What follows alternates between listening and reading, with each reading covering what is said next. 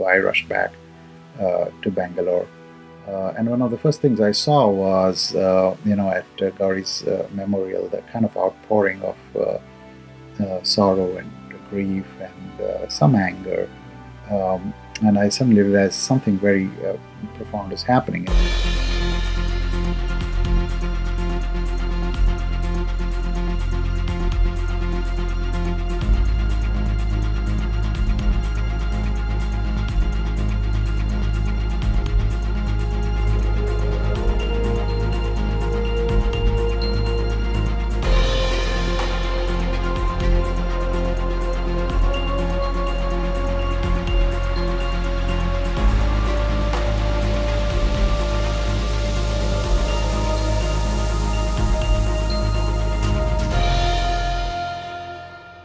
Well, it's hard to uh, pin down one memory uh, of her, but uh, I'll always remember very early on when we were uh, our very first year of college. I think the very first year we met.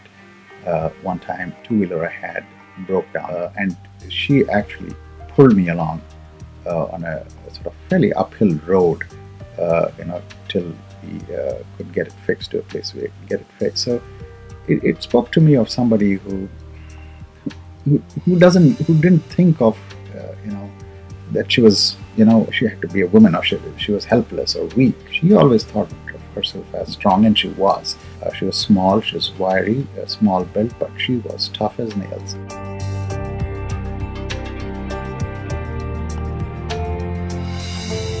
And of course, I've described in the book uh, one episode where she actually, where she asked me, called me and asked me for contribution or to, you know, fund something. And her winning line always was, uh, "Hey, you owe it to me because I didn't get, uh, take any alimony from you." so that was always a sort of, uh, you know, trump line.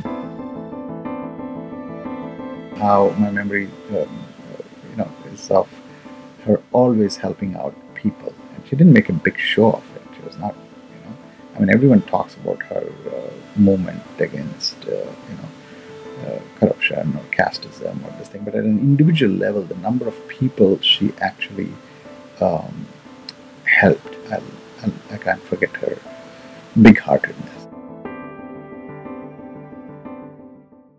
She was not religious at all. Uh, but at the same time, she did not, uh, you know, hate religion, or she did not.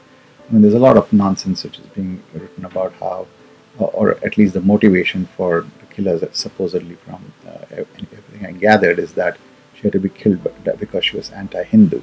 She was not anti-Hindu, no way, not by a long shot.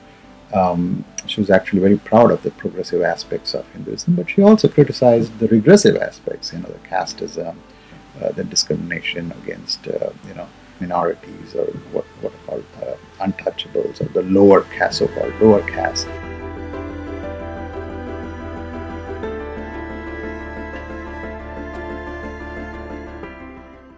And it's not uh, just the last uh, uh, four years, or it's not just the new BJP or Modi government. I think even going back before that, there is a sense in our society that it's becoming increasingly fractious and agitational, and there's a great deal of anger and a constant outrage. She had fought and she was fighting a terrific battle uh, against these uh, forces.